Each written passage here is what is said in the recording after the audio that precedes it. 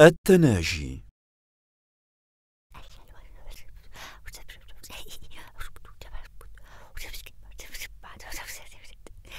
السلام عليكما وعليك السلام ورحمة الله وبركاته. هل تأخرت عليكما؟ بالطبع لا معلمتي. أين ذهبت صديقتكن رنا؟ لا ندري. كنا نتحدث ولم نلاحظ أين ذهبت. يبدو أنها تضايقت من حديثنا. فقد كنا نتحدث بموضوع خاص وكان صوتنا منخفضا بعض الشيء. وهل يصح لنا إيذاء مشاعر أصدقائنا هكذا؟ أما سمعتن حديث رسول الله صلى الله عليه وسلم إذا كنتم ثلاثة فلا يتناجى اثنان دون الآخر حتى تختلطوا بالناس من أجل أن يحزنه ويقصد بالتناجي التحدث سرا كما كنتما تفعلان. إذا فالاختلاط بالناس يعني أن نرجئ الحديث لحين اختلاط الناس. هذا صحيح. تختلط بالناس أي يختلط الثلاثة بغيرهم لأن التحدث سرا بين اثنين يؤذي الثالث. ويظهر ذلك المعنى في قوله صلى الله عليه وسلم من أجل أن يحزنه أي لأن ذلك يؤذيه ويدخل الحزن في نفسه. أجمل خلق النبي صلى الله عليه وسلم.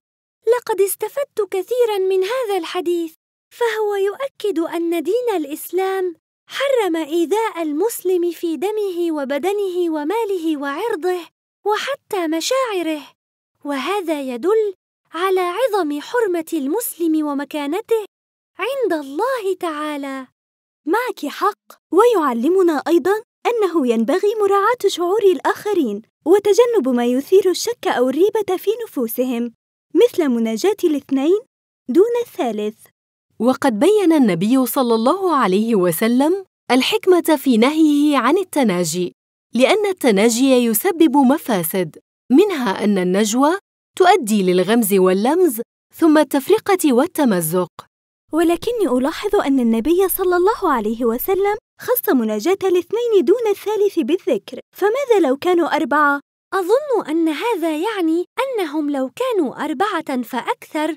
فتناجي اثنين دون البقية؟ جائز.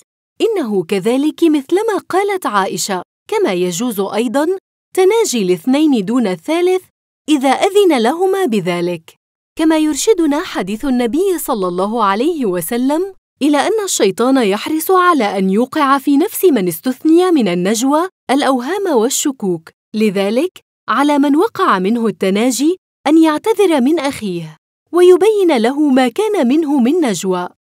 إذا علينا أن نعتذر لصديقتنا. وإذا كنا ثلاثة فإني أجتنب التناجي مع صديقة دون الأخرى مراعاة لمشاعرها. ونجتنب أيضا التناجي بالغيبة والنميمة والإضرار بالآخرين. جزاك الله خيرا يا معلمتي على هذه المعلومات. لقد استفدنا كثيرا. والآن سنذهب لصديقتنا لنعتذر لها. وجزاك مثله يا ريما. ولكن عليك أولاً بتلخيص ما تعلمناه اليوم. خلاصة ما تعلمناه اليوم قال صلى الله عليه وسلم إذا كنتم ثلاثة فلا يتناجى اثنان دون الآخر حتى تختلطوا بالناس من أجل أن يحزنه. معاني الكلمات. يتناجى يتحدث سرا. تختلط بالناس تمتزج بهم. من أجل أن يحزنه لأن ذلك يؤذيه ويدخل الحزن في نفسه.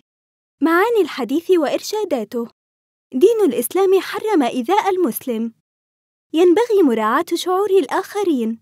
تناجي الاثنين دون الثالث يسبب مفاسد. الشيطان يحرص على أن يوقع في نفس من استثني من النجوى الأوهام والشكوك. تطبيقات سلوكية. أجتنب التناجي مع صديقة دون الأخرى مراعاة لمشاعرها. أجتنب التناجي بالغيبة والنميمة والإضرار بالآخرين.